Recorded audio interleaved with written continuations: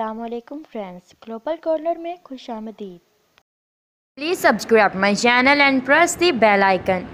تو ویورز، آج میں آپ کو ڈرامہ سٹیل انا کے نیکسٹ ایپیسوڈ کا پرومو بتاؤں گی۔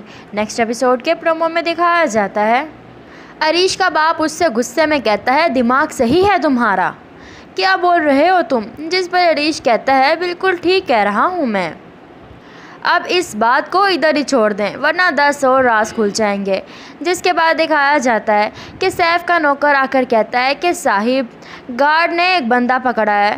وہ اندر آ رہا تھا، وہ آپ کو بلا رہے ہیں باہر۔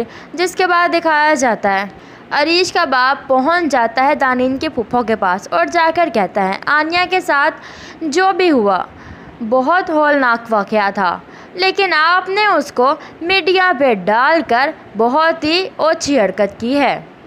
لیکن ایک بات یاد رکھیے گا، اگر یہ بات پبلک میں گئی نا، تو شیر گڑھ کا نام و نشان نہیں رہے گا، جس پر دانین کی پھپھو بھی غصے میں کہتی ہے، شمشیر نگر والوں کی یہ اوقات ہمیں دھمکی دیں، جس کے بعد دکھایا جاتا ہے۔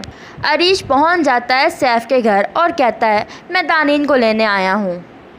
تو سیف کہتا ہے دیوار پھلانگ کر، جس پر عریش کہتا ہے باہر میری گاڑی سٹارٹ ہے۔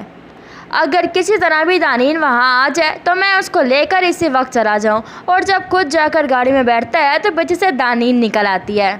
عریش خوشی سے اور حیرانگی سے پوچھتا ہے، تم کب آئی؟